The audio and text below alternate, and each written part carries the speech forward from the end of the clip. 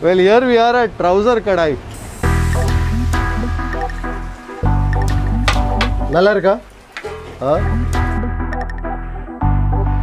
I can see plenty of the pundu there, the garlic. There's some inji that's gone in. Plenty of the curry leaves too. So this certainly seems like a kola urundai that's going to be full on in its flavors. Mmm. Super. Uh, the prawn gravy is the sort that will knock your socks off. I think on that note, we should say hello to that prawn thokku. Hmm. We are on St. Mary's Road in Mandaveli here in Chennai and I'm trying to look for an eatery that has been around for the last 40 45 years or so but is the literal hole in the wall. So I'm having a tough time trying to locate it but hopefully we'll find it soon. Hey, trouser kada there. Ah, ah, ah, that is. Okay, thank you, thank you, ma.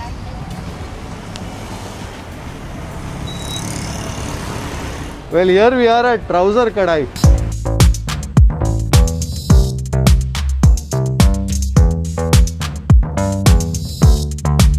And I think that's the gentleman there, Mr. Rajendran, after whom this eatery is monikered. He would cook and service customers wearing only a dark trouser.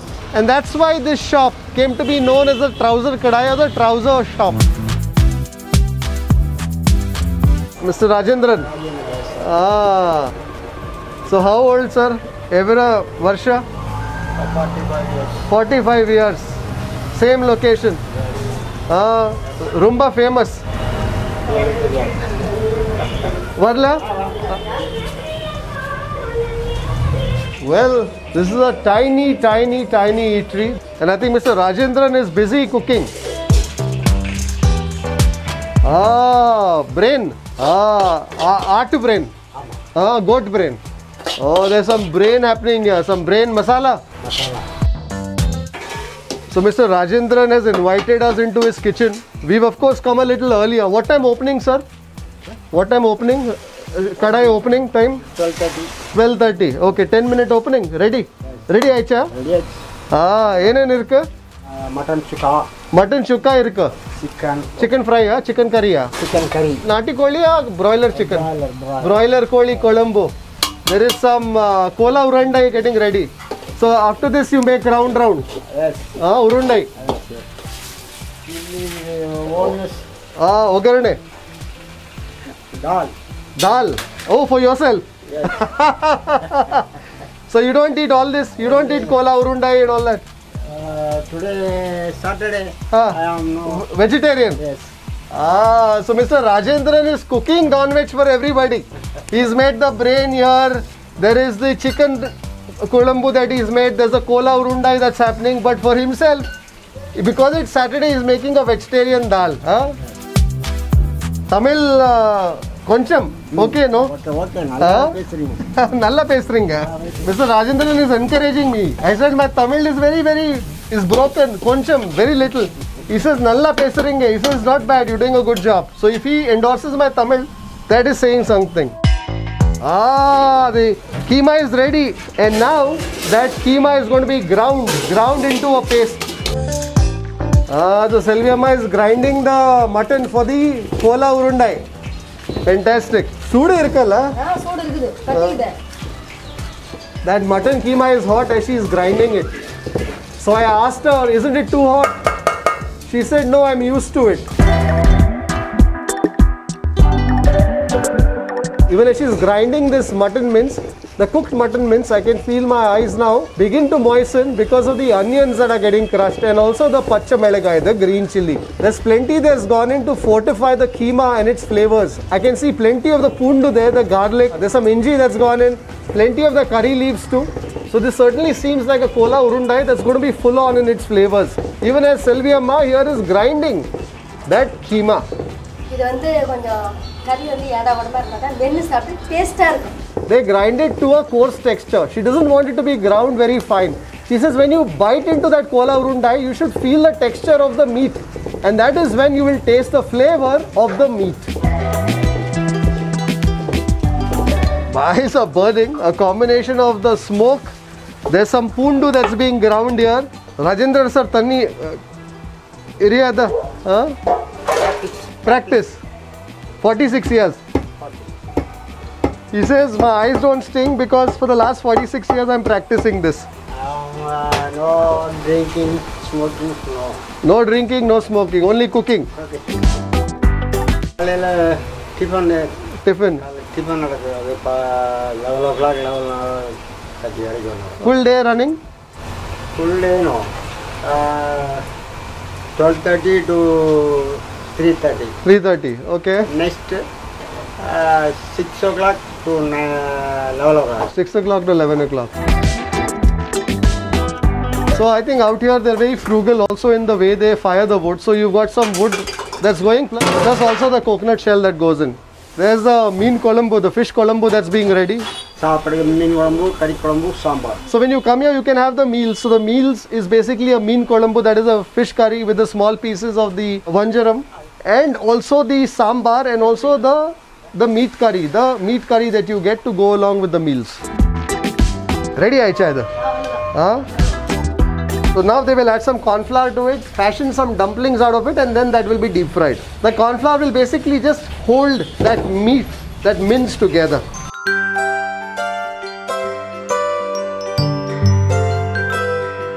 So out here Mr. Rajendran has about four or five things happening at the same time. So he's the only person who's cooking. He's got one or two helpers here, but cooking is all done by him. So he's got about three or four vessels being prepared. Plus he's got the preparation happening for the kola urundai, some preparation of the prawns too happening that will go into the prawns thokku. So there's a fair bit that's happening here at Trouser Kadai. Nalla iruka? Huh? Spice salt nalla iruka sir? Mm. Perfect. Sorry. So Selvi, shop here. Huh? Fantastic. I thought she was just grinding the meat for the Kola Urundai, but turns out she has her own fruit and vegetable shop. So helping morning, then doing shop, then going home, doing work at home. 7 o'clock she's going to Sambanji area, our own area. Then business to the night 10 to 10 to 12 o'clock. Daily, daily. In the morning she helps Mr. Rajendran here at Trouser Kadai. Then she runs her shop. In the evening, she goes to her area and again sells vegetables for three hours. Super. Thank you. So I think the format here is rather simple. You get a meals which is the foundation of your sapad here. So there's some rice that comes with it. There's some sambar. I think you also get one of the curries, the meat curries. I would ideally like to do this before the food comes onto the table, but the leaf came and my potato and the spinach too came in quick succession. Uh, some hot rice, hot sadam. Thank you. Oru kola urundai, oru எறா தொக்கு Mutton, என்ன இருக்கா Mutton sukka oru mutton sukka Ah, kola urundai. That's basically that mutton mince that we saw being cooked and then ground on that stone grinder by Selvi Amma and then it's been fried to make that kola urundai. Meat curry. Yes. Ah, that's the meat curry. Ah, prawn. Yera Thokku. Mutton chukka. Fantastic. We're set with our meal here at Trouser Kadai. So, like I said, this place is all about the food. So, the place may look a bit drab, a bit dingy to some, but then that's the character of the place. At the end of the day, the food's being cooked over a wood fired stove, so there's smoke everywhere, and that smoke tends to seep into the atmosphere and also tends to stain the walls over a period of time. And this place has been cooking using wood as fuel for the last 46 years. So you can well imagine the kind of ambience that creates. But the food, the dishes that I've got on my table certainly look bright.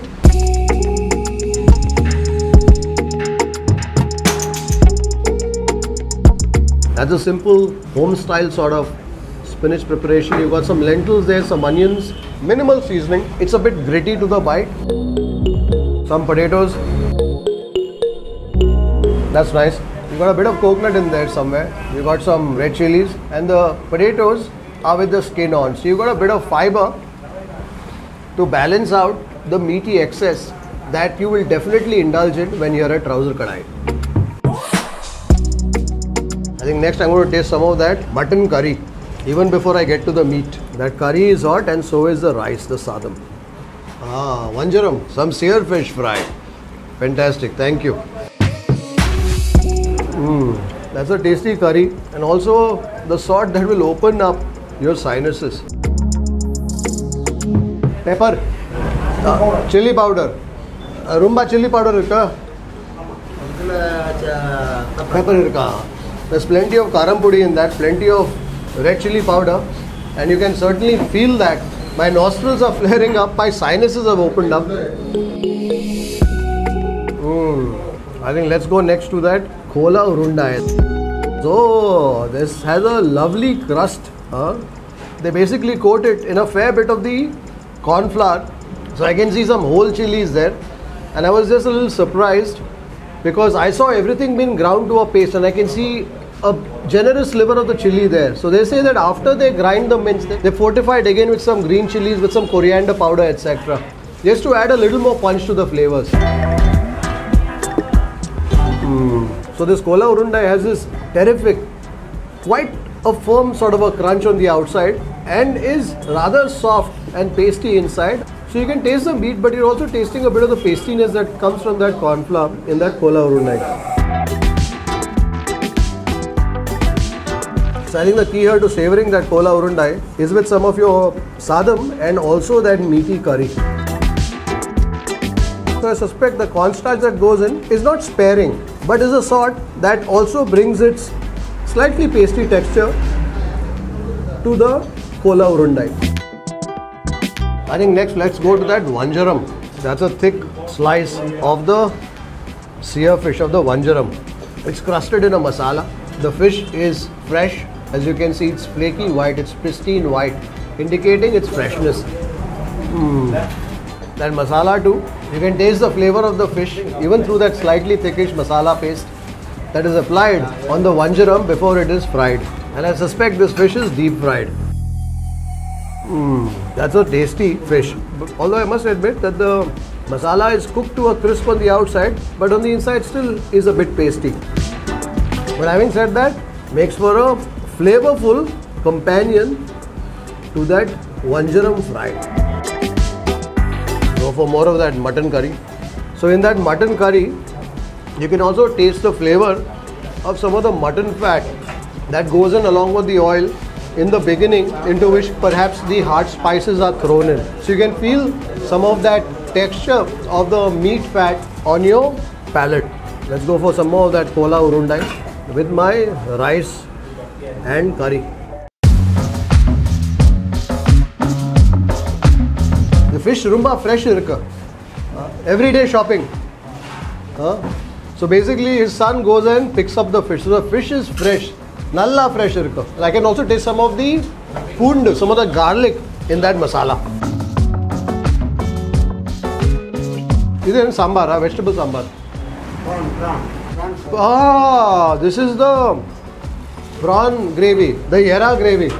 Ah. So Mr. Rajendran has also given me some yera gravy, some prawn gravy. They first cook the prawn in the stock and then they dry it out to make that prawn thokku. Mmm, super. The prawn gravy is the sort that will knock your socks off.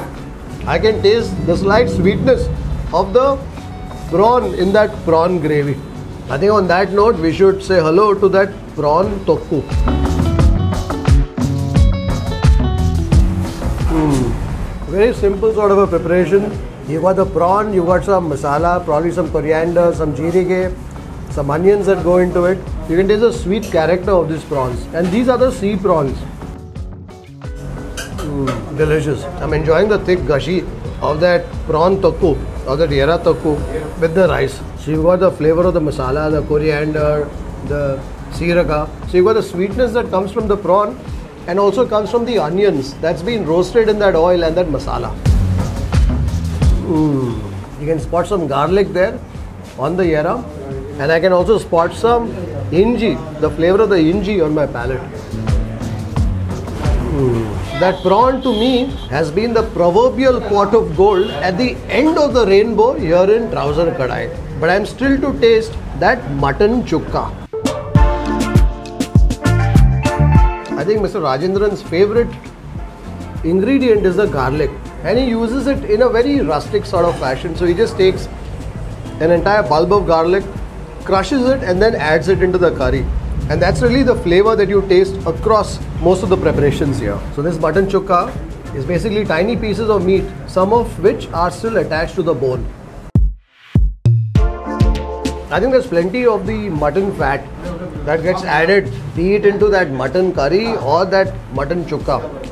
And you can certainly taste the flavor of that as you are tasting both the curry and the chukka. So I think the meaty preparations here are for the sort of palates that are accustomed to those full-on flavors that meat fat can bring. and that sometimes can get in the way of your enjoyment of the meal if you aren't a hardcore carnivore. The taste of meat is one thing, but the flavor of the fat is another. It's nice to have a bit of fat that's sheet through the meat, but when you have fat that's also used as the cooking medium of sort along with the oil, then that tends to impart a very different flavor and texture to the preparation and thereby to your palate, to your tongue. If you are the sort who has a slightly squeamish palate when it comes to meaty delicacies, that may be something to look out for. But the meat has been cooked rather well. For some of that vanjaram. That vanjaram masala has been fried to a nice crust on the outside. Slightly pasty on the inside, but on the outside, that masala has been fried to a lovely crust. Let's go for some more of that prawn gravy. That prawn gravy was rather special. Mm. You can taste the flavor of that prawn in that prawn gravy, in that yara gravy. Mm. This to me has been the dish of my lunch here at Trouser Kadai. Sweetness that comes from the fresh prawns and also the sweetness that comes from that onion. That onion that has been braised as a foundation to that very flavorful Yara thokku. So if you happen to be in Chennai and love your meat, actually correct that. If you're a hardcore carnivore and don't mind dining in an environment that is rather modest, rather humble, where the attention, the focus is all about the food, do drop into Trouser Kadai. After all, this is an eatery that has stood the test of time for nearly 44 years, manned by one person only, Mr. Rajendran, after whom this eatery is now monikered. I hope you've enjoyed this meaty episode from Chennai. Until the next time, take care, stay safe, stay strong, and happy eating.